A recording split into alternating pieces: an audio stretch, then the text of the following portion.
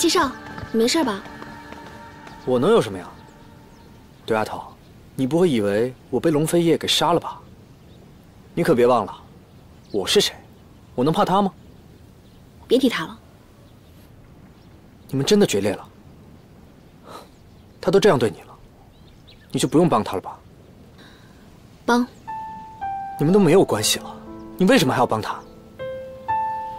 我跟他毕竟夫妻一场，我不能眼睁睁看着他去死。他现在这样，终归是我爹的错，我一定会尽我最大的努力。好，那我也帮你。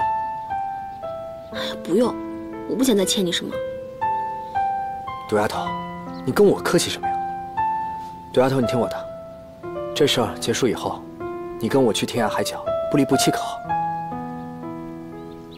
这话。他曾经也承诺过，可如今不也一拍两散？我不要跟任何人走，我一个人可以过得很好。你不要拿他的错来惩罚我，我跟他是不一样的。自古以来，男子都是薄情的，不是吗？你说的男人都是龌龊的男人，我可是百年一遇的痴情暖男。你放心，我绝对不会负你的。当真？千真万确。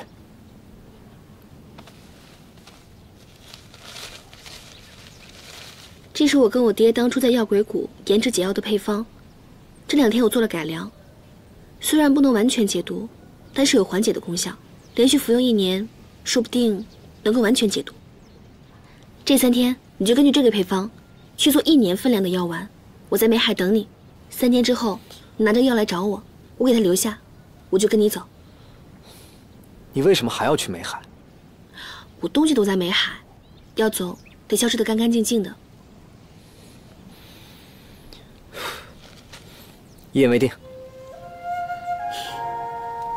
一言为定。那我去配药了。嗯。七少，对不起，我必须要救殿下。我不想让你看着我离开。以后你会找到一个好女人的。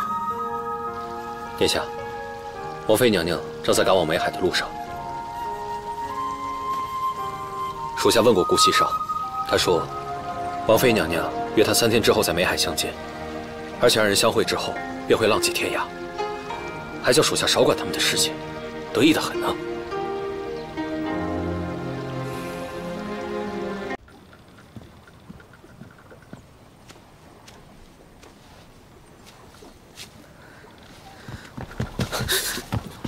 七少，七毒草还我。云溪。你果然是来这里找七毒草了。我昨天看你眼神的时候就很不对，你为什么要骗我？为什么？为什么你心里只有他，只有他呢？他都不要你了，你就这样为他牺牲，这值得吗？七少，你是不是跟龙飞叶说了，只有我的心头血才能够救他？是，是我说的。我就猜到是你，难怪他会对我说那么难听的话。你为什么跟他说？亏我还这么信任你，他有知道的权利。一个女人即将要牺牲自己去救他的时候，他为什么要被动？更何况，我不会眼睁睁的看着你去死，我做不到。七少，我的生死我自己决定，七毒草先还我。我不给。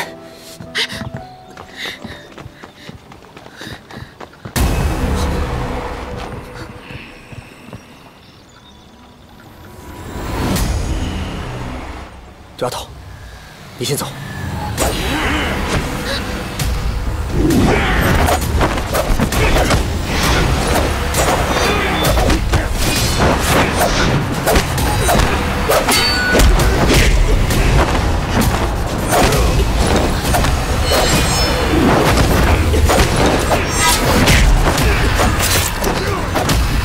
云溪，快走！七少。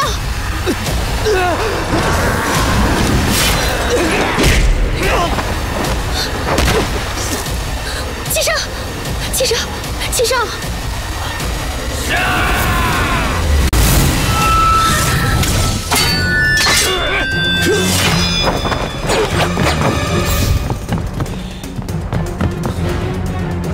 你没事吧？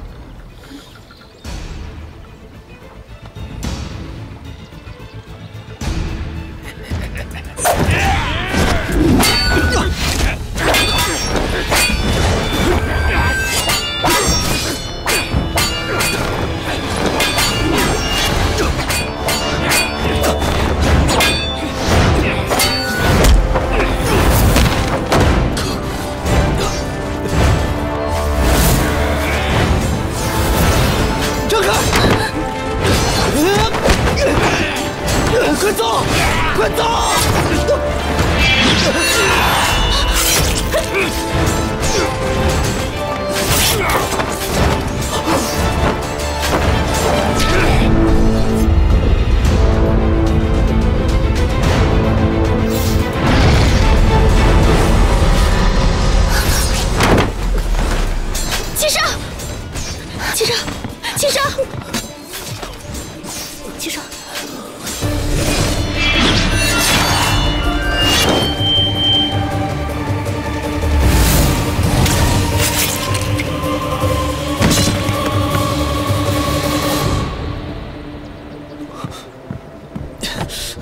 七少，你们怎么样？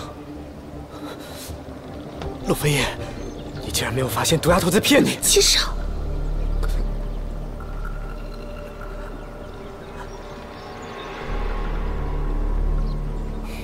西风，带顾七少回去疗伤。是。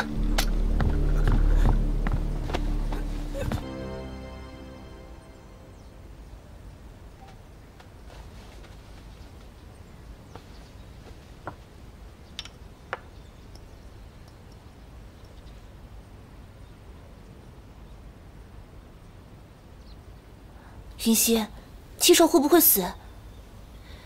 按道理来说，这点伤七少不至于这样。那他为什么昏迷了？你放心，他没有生命危险。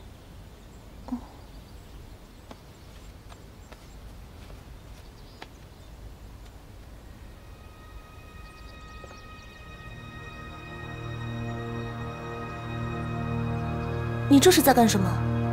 取点血，回去查查是什么毒。